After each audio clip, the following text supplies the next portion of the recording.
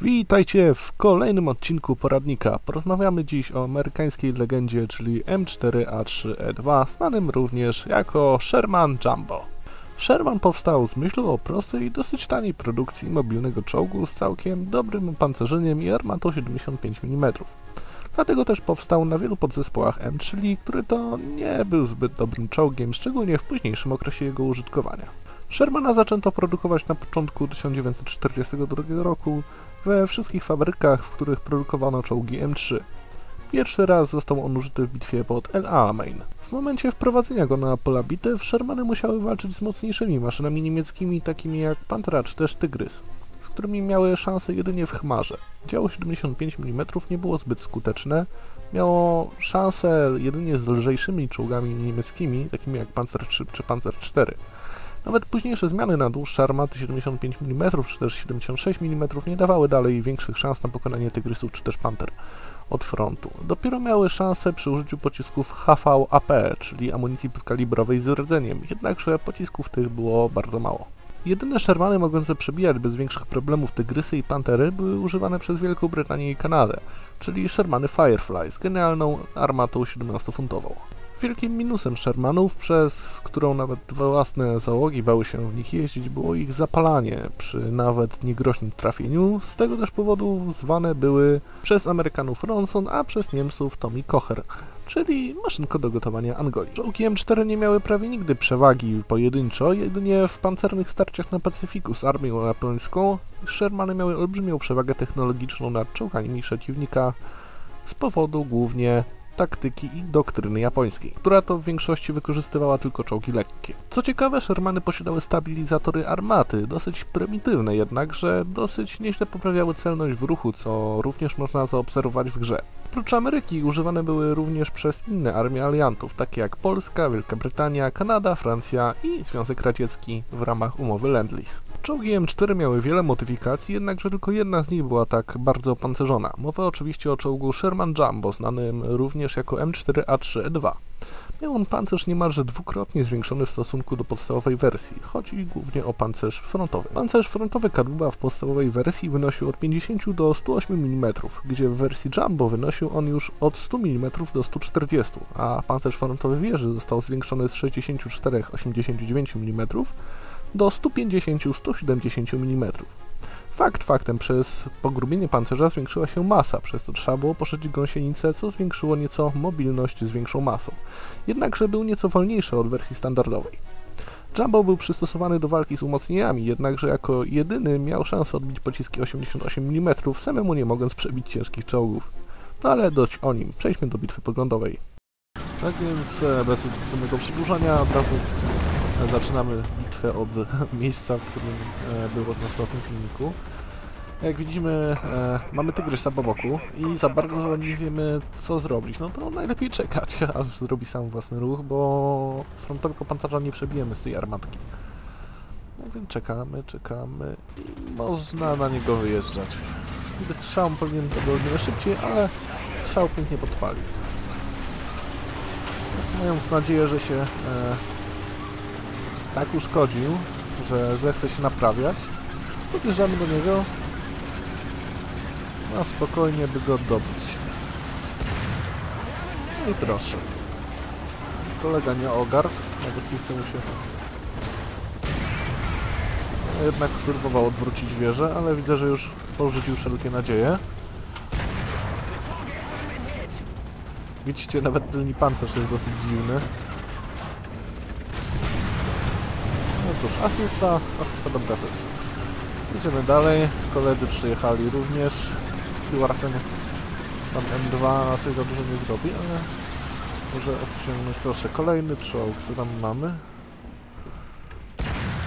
Nawet nie ma co strzelać, ale mamy też kolejne tanki. Sherman Jumbo ma to do siebie, że ma cholernie mocny pancerz tylko dwa lub trzy spoty na froncie.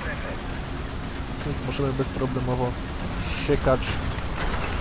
Może nie przebijemy tygrysa na przykładu, ale mamy tu panterkę. Chyba panterkę. Ktoś się tam z tłucze. Oj proszę, panterka oberwała. Prawda zawieszenie, ale, ale zawsze coś. Jedziemy do niej. E, no cóż, trzeba grindować najlepiej. Trzeba najlepiej grindować e, nowe pociski. Pantera zrobiła drugi strzał. Bo standardowymi to naprawdę masakra jest. Nawet od boku. Kolejny strzał.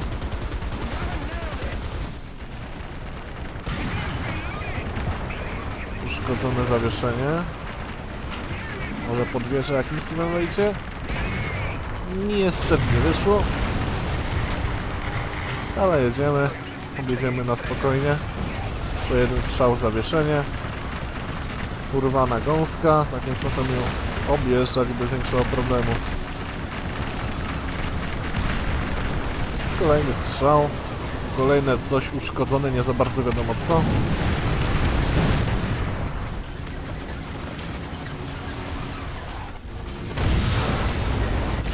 No cóż, walimy, walimy póki się da. Oddali pancer. Karabiny akurat tu się przydają. Ktoś powiedział, o do czego karabiny, one są niepotrzebne. Przydają, przydają się naprawdę bardzo do, wy, do szacowania odległości. Prawda, nie są jakimś specjalnie dobrym e, wyznacznikiem, gdyż e, często się zdarza, że na niższych tierach mają większą e, prędkość wylotową niż e, główne działo. Tak więc trzeba odrobinę niżej kierować działem przy strzelaniu po wymierzeniu odległości karabinem. Bok niestety Jumbo jest dosyć kijowy, bo jest praktycznie taki sam jak zwykły.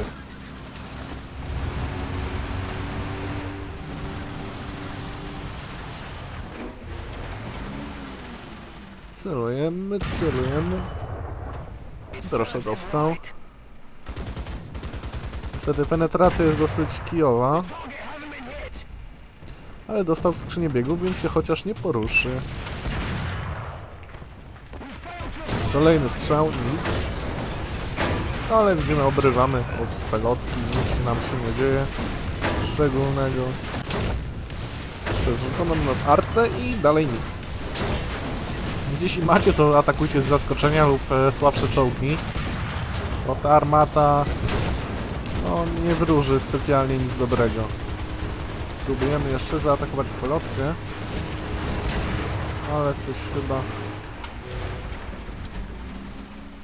Uszkodzony silnik od pelotki trochę. Straciłem odległość pancera.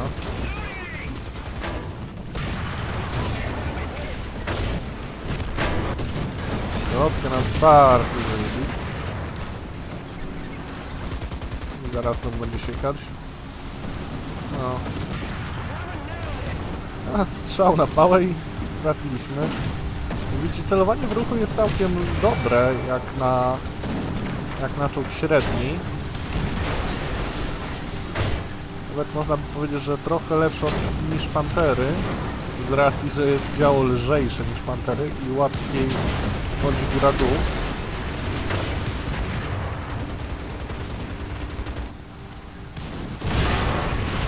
Oj, No nie, zrywana gąsienica, ale ktoś już tam dobił. I chyba dostaliśmy asystę, ale mamy kolejny cel. Jest to sztuk chyba. To siekamy. Nie, dalej pancer 4.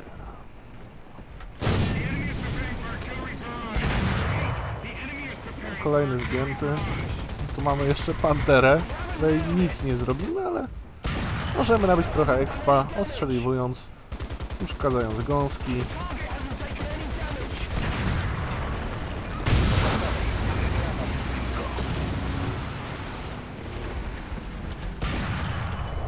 Teraz mamy tu sztuka chyba.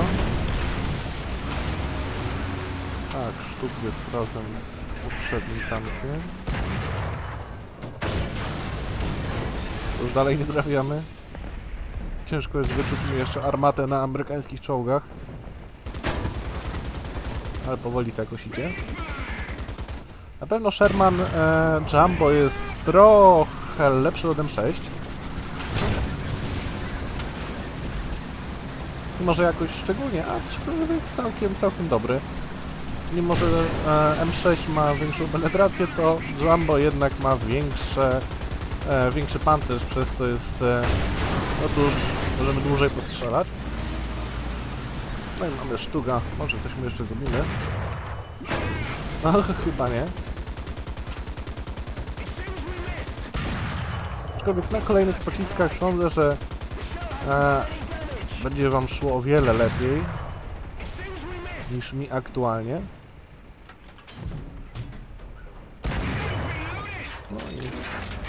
Niestety nie dobiliśmy, aczkolwiek nawet nie niszcząc żadnego czołgu, zostając jedną czy tam dwie asysty, jesteśmy w top 3 czy tam top 5, co naprawdę jest dosyć dużym e, dużą sprawą. No ale dobra, przejdźmy do podsumowania. Tak więc mamy tu naszego Shermana Jumbo. Co prawda nie jest jakoś specjalnie e, imponujący, to pancerz jednakże tak. Na dole mamy tu w granicach 100-140 e, mm pancerza, co nie skutkuje przebiciem kompletnie, chyba że właśnie w to miejsce, aczkolwiek jest to bardzo trudne nawet dla Tygrysa, chyba że na bardzo bliski dystans. Um, Główny pancerz górny się składa z dwóch płyt, e, jednej 30 parę milimetrów, a drugiej 60. Niestety KM nie ma tej, płyty i jest to swoisty weak spot, którym niestety da się zdjąć Shermana na strzał. Jeśli chodzi o wieżę, jest bardzo mocna i praktycznie nie, do przebicia. E, jarzmo ma 170, po bokach mamy 200, na dole mamy 150 na pierścieniu wieży. Oczywiście da się trafić jeszcze tu, e, co może skutkować podpaleniem lub wybuchem amunicji, w zależności gdzie trafimy. No i oczywiście tył, który też się pali jak to Shermany. No i cóż. Jak widzicie, bok jest e, standardowy i najlepiej strzelać właśnie pomiędzy gąsienicami, gdyż na tej płycie jest bardzo mało pancerza w granicach 30 paru. No ale cóż, jest szansa zawsze, że przebijecie e, pod wieżą. Jeśli chodzi o bok, wieża jest cholernie mocna, boki nie szczególnie. Tak więc nie strzelajcie po wieży, jeśli macie strzelać po wieży, to jedynie po wierzchu. E, tył wieży jest tak samo cholernie mocny jak e, boki. Tak więc cały czas mamy tył, który łatwo zapalić pociskiem. No i jeśli chcecie ubić Shermana od frontu, jeszcze jest właśnie szansa oprócz KM-a, górna, górny płat wieży, aczkolwiek, e, no cóż, rzadko się to zdarza, bardziej rzadko niż e, w KMA. E, jeśli strzelacie w bok, to oczywiście silniczek, bo jakże. Mm. No i cóż, jest zawsze szansa, że pocisk zbije się i trafi zaugantów lub y, amunicję, jeśli traficie w górną część wieży. I ewentualnie właśnie pomiędzy wieżę a kadłub, co jest bardzo trudne, aczkolwiek jakaś szansa jest. Bardziej jakaś niż szansa. No i tył oczywiście to jest zapalniczka e, Ronson. I to mniej więcej na tyle. A teraz przejdźmy do wad i zalet. Tak więc wady i zalety i na koniec kilka zdań o czołgu. Tak więc zalety. Szybkostrzelność, świetny pancerz frontowy i całkiem dobra mobilność. Można jeszcze dopisać wychył działa góra-dół, bo też jest świetny. Wady, e, penetracja im oddziała i uwielbia płomień niczym zapałki. No niestety jest to e, Ronson i uwielbia się palić. Dobra, a teraz y, jak zagrać, jak grać, jak nie grać. Um, hmm, najlepiej e, atakować się od boku, od tyłu, e, próbować uszkadzać gąsienicę, by czołg nie mógł się poruszyć e, i nie podjeżdżać zbyt blisko e, wrogiego czołgu, bo możemy dostać po km lub po dziale, ewentualnie pomiędzy wieżą a kadłub lub górną część wieży. Tak więc e, dobre miejsce dla Shermana jest miasto lub e, bardzo pochyły teren, przez co można y, użyć jego depresji działa na pochyłym terenie, lub też właśnie urządzać zasadzki w mieście najlepiej po kilka osób, ze względu na jego, na jego mobilność i no, słabą penetrację. Tak więc e, jeśli macie, to od razu eksp, ekspcie gaśnicę, zestaw naprawczy i od razu pociski. Później się bawcie w artylerię i inne, bari- i inne bariery. Um, co do reszty, um, pojawi się jeszcze pewnie odcinek e, przed e, świętami, możliwe, że się pojawi odcinek przed świętami, na pewno jakiś specjal będzie i no cóż, to będzie na tyle. E, po świętach pewnie wrócimy z poradnikami. Chyba, że jeszcze się pojawią przed świętami, tak jak mówiłem. Tak więc dzięki wielkie i do zobaczenia w kolejnym odcinku. Trzymajcie się.